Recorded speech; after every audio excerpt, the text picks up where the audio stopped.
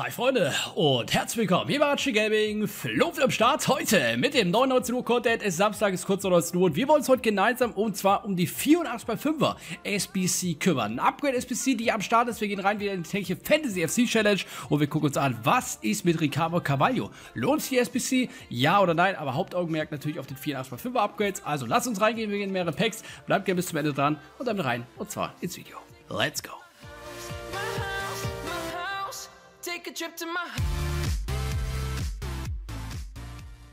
Bevor wir in das Ganze, vergesst nicht, Liebe dazulassen, nehmt euch kurz eine Sekunde Zeit, Daumen nach oben da lassen, das würde mich extrem unterstützen, auch gerne kostenlos ein Abo da lassen, auch das würde mich extrem unterstützen, Freunde, wird sehr unterschätzt. Und gerne auch für den äh, Algorithmus einen Kommentar hinterlassen, um den zu supporten, also knallt gerne was in die Kommentare, Freunde, wie eure Meinung zur 84 x 5er etc. zum generellen SBC-Content natürlich ist. Ja, Freunde, damit starten wir erstmal auf ganz entspannter Weise mit der äh, Fantasy FC Challenge. Und wundert euch jetzt, warum ist denn hier die 80 Plus Player Pick mit am Start? Da kann ich schon mal sagen, wenn wir morgen ein Bonusvideo zum Mittag bringen, also 13 Uhr hier auf dem Hauptkanal, wenn wir 100 mal 80 Plus Player Picks öffnen, kommt das sehr gerne vorbei. Aber jetzt erstmal die tägliche Fantasy FC Challenge. Da holen wir uns natürlich wieder das Tradable Pack, wie wir es kennen. Heute sind wir reingegangen und zwar in die Serie A. Zack, geben die Spieler, die wir eben vorhin haben, einmal ganz easy peasy ab. Ja, tägliche FC Challenge damit abgehakt und äh, das sollte ich auf jeden Fall auch mitnehmen. Dann haben wir die 4,5er. Achtung, dreimal wiederholbar am Start, ja, und äh, da eben jetzt eine Woche komplett das ganze Ding am Start. Ja, was bekommen wir? 84 bei 5er bekommen wir zurück, okay, aber abgeben. Wie sieht's da aus? Wir haben 82er Graden Squad und Team of the Week. Und da stellt sich natürlich die Frage, okay, lohnt sich diese SBC eigentlich? Und wenn wir mal zu den Upgrades gehen, dann sehen wir hier ganz normalen Upgrades, ja, 84 bei 5er, Team of the Week, 82 Upgrade, okay, nicht so nice. Und wir sehen eben keine 83 bei 10er mehr. Das heißt, wir haben jetzt hier eigentlich eine gute Möglichkeit, das ist jetzt meine Meinung, ich bin gespannt auf eure Meinung, für relativ wenig, ja, äh, tatsächlich ein 84x5 Pack sich zu sichern. Und deshalb werden wir jetzt gemeinsam auch kurz reingehen, das machen und dann mit dem ersten reinstarten. So, Freunde, da war das erste 84x5er Pack am Start. Wir gucken direkt schon mal, was ist drin? Was haben wir im ersten? Es ist Portugal, es ist IV. Oh, yes, Doppel. Jawollo, 89er Ruben Diaz.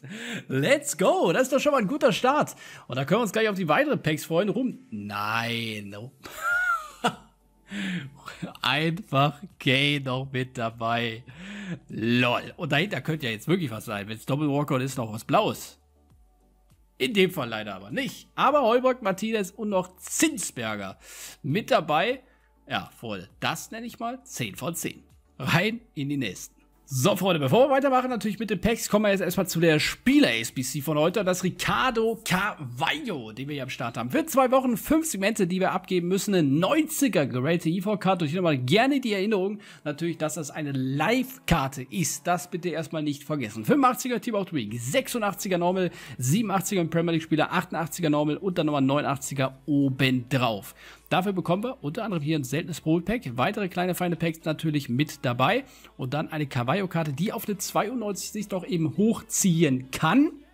Wohlgemerkt kann ja, äh, nicht unbedingt muss. Gering hohe Arbeitsraten, 1,83 Körpergröße, IV, Hero, Premier League, Portugal, offensichtlich. So, und dann haben wir 84er Reaktion, sage ich euch ehrlich, ein Reaktionsstat, der eigentlich noch ein bisschen mau ist. Was ich geil finde, Tempo ist sehr, sehr ausgeglichen und wir haben halt hier die dicke Dev, ja. 92 Dev, das sieht halt richtig gut aus, kurzer Pass und langer Pass, was ein Innenverteidiger braucht und basiert eben auf der Form von Chelsea.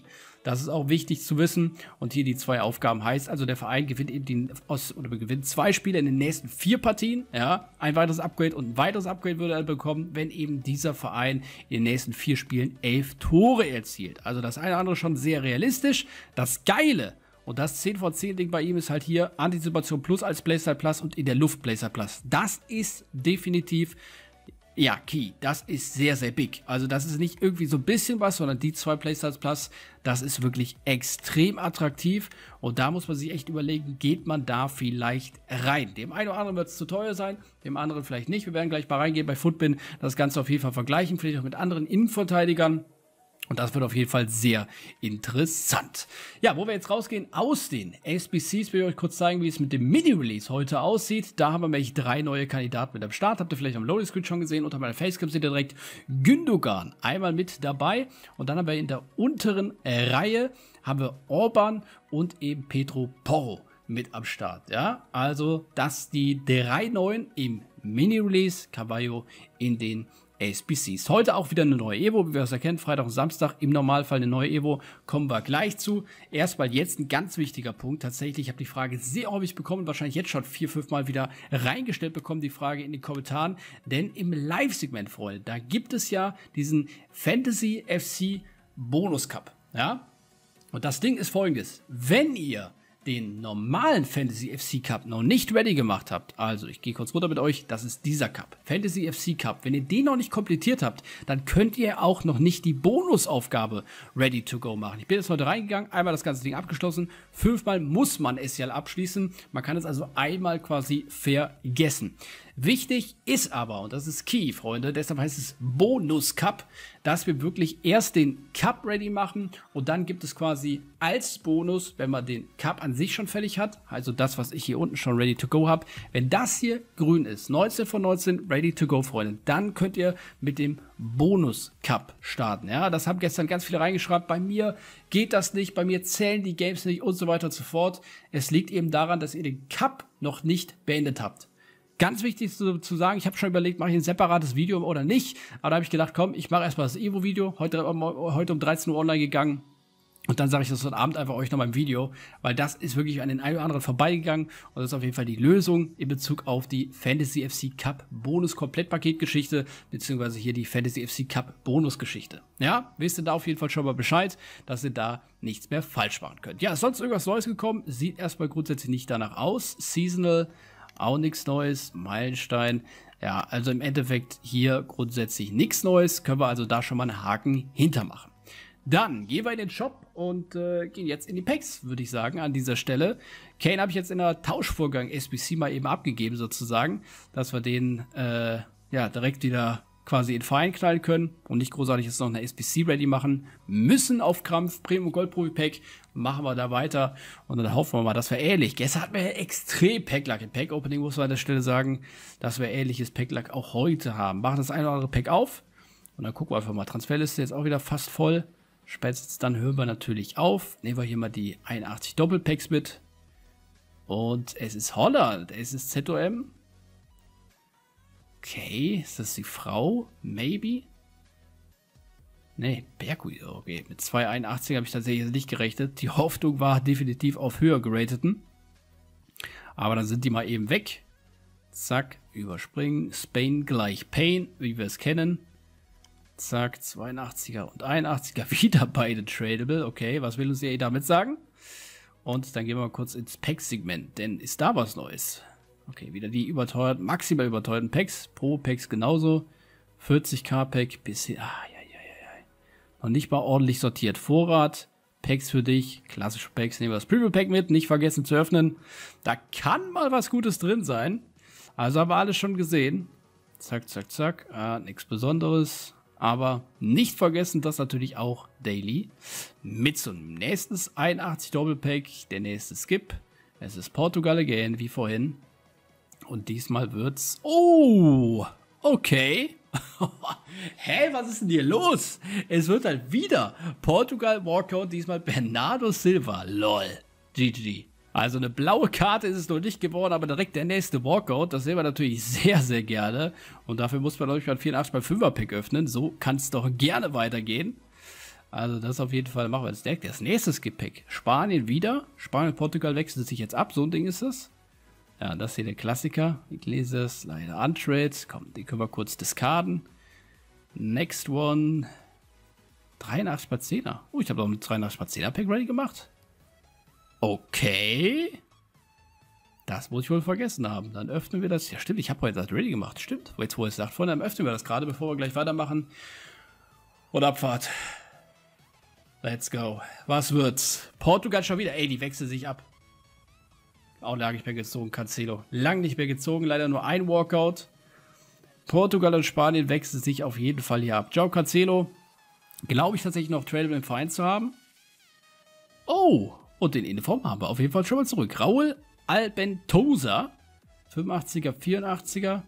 Ja, damit können wir tatsächlich sehr gut Leben, Freunde. Und damit machen wir doch mal gerade weiter und gehen rüber und zwar hier auf folgenden Screen. Und da zeige ich euch mal kurz, worum es denn bei der Evo geht. Und zwar hier, das ist nämlich die Down the Right Side, wie es im Englischen heißt, für 500 FC Points oder 100.000 Coins. Und die Frage natürlich, lohnt sich das Ganze? Zur Auswahl über eine Million. Wir haben drei Level dazu verfügbar und expires 23. März, ja. Ja, und äh, da können wir doch mal kurz reingehen. Eligible Players, wer da so mit dabei ist. Und da sind ein paar interessante Karten mit dabei. Spinasola, Mbabu, Dumfries ist mit dabei. Und ich kann mal gerade mit euch gemeinsam gucken wir uns mal kurz einmal bei mir auf der Road to Glory ran, wie das Ganze dann aussieht in Bezug auf die Evo. Dann haben wir das nämlich auch abgehakt. Also zack, gehen wir kurz zu den Evolutions. Und da zeige ich euch, wie es doch aussieht. Also, rechte Außenbahn. Da haben wir Mbabo als Beispiel. Dann hoch eben ein Plus 4 auf die 89. Wieder ein Rechtsverteidiger. Und da ist es, gönne eben einem deiner Rechtsverteidiger-Profis einen ausgewogenen Boost. Alle Attribute. Inklusive einem schwachen Boost und unerbittlich Playstyle Plus. Ja, das ist auf jeden Fall sehr, sehr nice. Freischaltung in 20 Tagen und läuft ab eben in 27 Tagen. Ein Schuss, ein Passspiel, ein Dribbling, ein Defensiver, ein Physis. Ja, Level 2, dann auch ähnlich, Passspiel plus 2 in dem Fall und dann hier bei Level 3 das wichtige 3 Tempo, 2 Dribbling, 1 Def, 1 Shot Fuß Upgrade und unerbittlich Playstyle Plus. Also das lässt sich auf jeden Fall sehen. Die Frage, lohnt sich das für die, für die ein oder anderen Coins?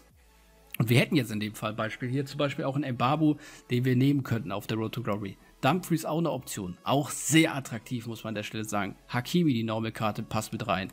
Wir haben ja unter bei der Facecam Ware am Start, Frankowski. Die würden natürlich dann diese Radioactive-Geschichte äh, verlieren, ja. Aber hier seht ihr schon, dass da auf jeden Fall einige bekannte Rechtsverteidiger mit dabei sind, ja, die wir auch quasi for free bekommen haben durch die Objectives. Also wäre auf jeden Fall tatsächlich eine Option, da reinzugehen wenn man sagt, ja, die 100.000 Münzen oder 500 FC Points lohnen sich. Ja, vielleicht werden wir das morgen nochmal on Detail bequatschen. Ähm, aber wie gesagt, kann ich euch nicht versprechen, weil wir das 80 plus Player Ping Ding am Start haben. Lasst uns weitermachen. Ihr seht einige Top-Kandidaten wirklich mit dabei. Das muss man an der Stelle wirklich sagen. Das ist wirklich eine 10 von 10. Ja, da sind echt geile mit dabei. Ja, wir können direkt mal gerade reingehen. Und zwar hier zu den SBCs. Nochmal der Überblick für euch. Also da haben wir Carvalho und 84 bei 5er Pack.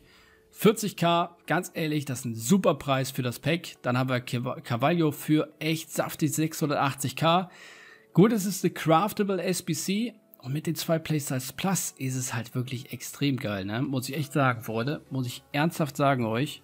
Und ich glaube, wenn mich nicht alles täuscht, ja, tatsächlich Antritt und Sprintgeschwindigkeit über 90 dann. Mit dem Shadow. Gut, äh, 98 Dev dann am Start, spricht auch für sich. Aber die zwei Playstars Plus, die machen es halt absolut aus, ne? Das ist halt maximal attraktiv. Also das ist wirklich sehr, sehr, sehr, sehr, sehr, sehr gut, was wir da am Start haben. Gündogan, Porro und Orban gucken uns kurz den Mini-Release an. Und wir können auch hier schon mal kurz Popular Evolutions einmal reingehen. Also das sind natürlich die klassischen Hakimi für den PSG-Link, ähm, Dumfries, Holland und natürlich auch den Interlink, den man mag. Spieler Sola mit dann 5-Star, 5-Star sowieso, No-Brainer, ja. Ähm, dann haben wir natürlich auch wieder Walker mit dabei, auch wenn er nur seine 3-3 hat. Orente auch wieder so ein Klassiker. Where, wie gesagt, würde ich eher ausklammern. Augsburg-Fans freuen sich über einen Embargo beispielsweise, ja. Also da würde ich auf jeden Fall überlegen, wenn ihr Bock habt, definitiv reinzugehen. Die Frage, geht mal um Lieblingsverein? Wahrscheinlich, ja. Und dann einfach überlegen, was man machen will. So, Gündogan ist draußen. Oh, auch mit zwei Places. Finesse schon und Antizipation. Oha. Okay, stand jetzt ein Plus 1. Pace ein Plus 9. Wow. Wow, der wird definitiv mindestens zwei Upgrades safe kriegen. Der wird auf die 91 mindestens hochgehen. Da bin ich mir fast sicher. Genauso wie bei Porro. Werner hat übrigens heute getroffen, habe ich eben gelesen.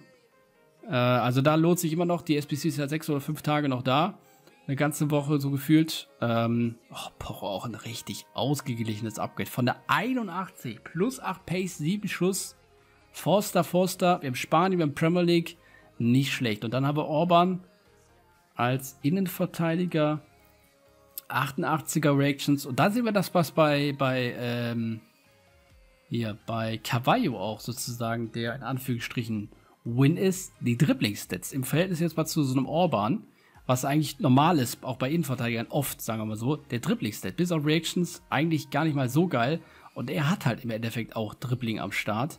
Also der sieht echt mit dem Shadow richtig, richtig gut aus. Fast auch schon guter ZD-App tatsächlich so ausgeglichen, wer da mit den Dribbling-Stats ist. Müsste man mal überlegen. Müsste man tatsächlich mal überlegen. Aber wir können es mal gerade nochmal resetten. Von der 88 6 Pace Upgrade. Wow. Und überlegt euch, Freunde, wir hatten hier Antizipation Playstyle Plus drauf. Vier insgesamt. Gut, hier hätten wir jetzt hier theoretisch auf Base Hero Ketchup machen können. Da wäre mit 89 Reactions dann am Start.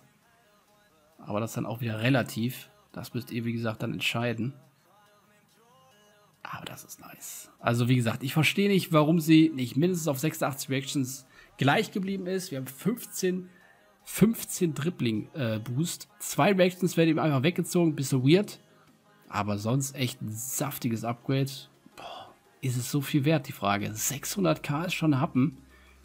Boah, aber die Karte sieht wirklich gut aus und sie kann sich ja upgraden. Das dürft ihr nicht vergessen, ne? Boah, schwierig. Bin ich mal sehr gespannt auf eure Meinung. Bin ich wirklich sehr, sehr, sehr gespannt auf eure Meinung. Und ich würde sagen, wir machen jetzt folgendes, Freunde. Und zwar gehen wir schön rein. Und zwar in die Upgrades. 84, boah, guck mal, Pace. 25 Pace bei Orban. Wild. Das ist wirklich absolut wild. Aber lasst uns reingehen. Die nächsten 84 bei 5 Packs. Abfahrt. Let's go. So, also machen wir weiter mit den 84 mal 5 Packs, Freunde. Und ja, mir ist natürlich klar, in Bezug auf die Innenverteidigung, vielleicht habt ihr Company, vielleicht habt ihr Virgil van Dijk eine geile Version auf der IV-Position und so weiter und so fort. Also da müsst ihr natürlich dann auch entscheiden, geht ihr da vielleicht rein oder eben nicht. Oder sagt ihr, komm, kann der ein oder andere vielleicht sogar, äh, ja, oder Carvalho kann den einen oder anderen überhaupt ersetzen. Das müsst ihr am Ende des Tages selber entscheiden. Das kann ich nicht für euch entscheiden. Am besten vergleicht ihr dann selber eure jetzigen EVs eben mit der neuen Carvalho-Karte und überlegt, lohnt sich das, in die SBC reinzugehen oder eben nicht. So, 84 bei 5 Packs heißt es aber jetzt. Und, come on, da geht's auch endlich auf. Perfekt. Ich weiß nicht, warum ihr so lange gewartet habt, aber da ist der blaue.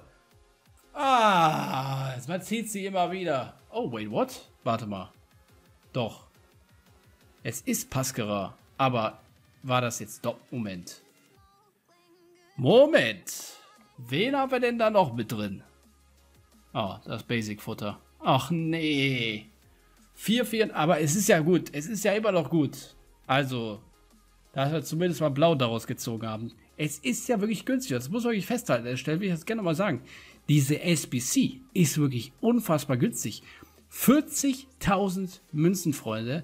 Das sollte man auf jeden Fall versuchen. Aber die gefühlt nächste Pascara, die zieht man gefühlt immer. Also hier im Twitch-Chat wird auch schon heiß diskutiert. Der eine schreibt, ich habe Cavallo jetzt schon abgeschlossen. Der andere sagt, ja, bin ich mir nicht sicher. Hier jetzt Torwart, jawohl. Kommt zwei? Ja. Donnarumma mit. Ah ja, Egerberg. Hey, Freunde. Ohne Witz, die 84 5er absolut 10 von 10. Oh mein Gott, Lord. Noch mit Groß mit dabei. Wilde Nummer. Und weil kein Duplikat. Sehr geil. So, hier haben wir die nächsten 84 mal 5er Packs. Wieder. Oh, ich dachte schon. Aber wieder zwei mit Barrea und wieder Hegerberg. Es ist Ossiman. Die Doppel-Serie A-Geschichte am Start. Oh, ein Mamouche ist dabei. Let's go. Der nächste blaue. Den hat er noch nicht. Sehr, sehr geil. Natürlich aktuell noch Discard. Müssen wir darauf hoffen, dass er sich weiter upgradet. Sehr nice. Pack Nummer 2. Statt jetzt noch kein blauen. Portugal. ZM. Oh, wieder ein Silver. Diesmal ein alleiniger Walkout. Aber 85er Fantasy? Gerade überlegen. Ich glaube nicht, oder? Haben wir 85er Fantasy Player? Kader. Fantasy 2. Nee, haben wir nicht. Gut.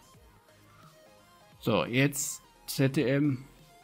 Sehr nice. Und wieder ein Kanté. Wieder der Walkout. Also Walkout scheint auf jeden Fall garantiert. Und du kannst ja mit dem Futter dann auch direkt wieder was anfangen. So, zum Abschluss nochmal ein 84 bei 5er Pack auf meinem Account und dann schauen wir mal rein, Freunde. Also, wie gesagt, zu Cavallo SBC, ich finde sie grundsätzlich eine gute SBC, aber man muss eben einmal anschauen, wie sehen meine IVs aktuell aus? Ja, sind die gut, sind die schlecht und so weiter und so fort. Ähm, und sonst grundsätzlich, ich glaube, da stimmt ihr mir zu, mit den Spielzielen auf jeden Fall sehr, sehr nice Geschichte. Gut, Chelsea, Upgrade, ja, nein, kann man jetzt auch drüber philosophieren. Wird es das geben oder nicht. Aber ich würde mich jetzt persönlich erstmal auf die Werner SBC stürzen, weil die halt jetzt noch ein paar Tage da ist und man weiß, er bekommt auf jeden Fall schon mal sein Plus 1 Upgrade. Ja, also starten wir rein. 485 Pack zum Abschluss, Freunde, mit dem letzten 485 Pack und wer wird es? Esman Heubitson. Da weiß man natürlich direkt Bescheid. Ist es einer? Sind es zwei? Es ist einer mit einem Son. Und wer ist hinten dran? Der Klassiker. Ja, Immobile noch 85, der Rest 84er. Aber die kann ich natürlich jetzt direkt wieder recraften in die 84 x 5 war die letzte für heute. Ja, das soll es für heute gewesen sein, Freunde. Ich hoffe, wir sehen uns morgen zu den 80 Player Picks um 13 Uhr und dann natürlich zu 19 Uhr Content auch morgen Abend wieder. Schaltet gerne ein, aktiviert die Glocke und hier zwei weitere Wiesen von mir. Viel Spaß dabei. Euer Flo von Archie Gaming. Ciao, Leute.